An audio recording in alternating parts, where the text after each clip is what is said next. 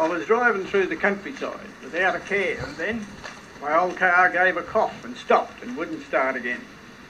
I turned the key and cursed and swore. Then I got out to see. I opened up the bonnet and peered in helplessly. Then suddenly a gruff voice spoke right beside my ear. I got fright. I didn't know that anyone was there. There's water in your carby. Well, I thought I'd lost my sense when I realised that the speaker was a grey horse by the fence. I stared at him and he stared back and then he winked his eye. You'll have to clean your carby out and get your spark plugs dry. Well, my mind went numb and I spluttered. I must be mad, of course, to be standing out here on the road listening to a horse.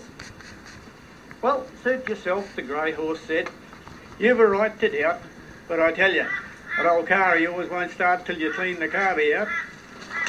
He turned his back and walked away. But I said, hey, no, don't go.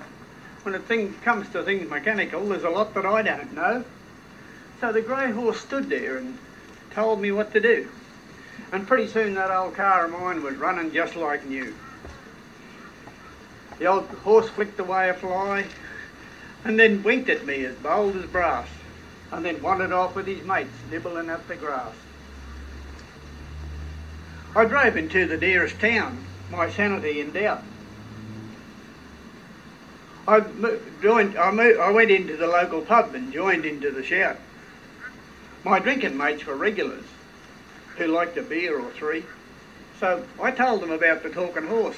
I thought they'd laugh at me. But they listened to my story without a trace of doubt.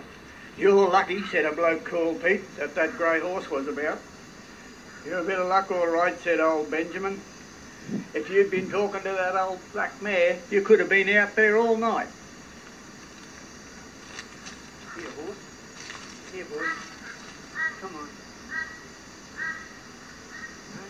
Come on, horse.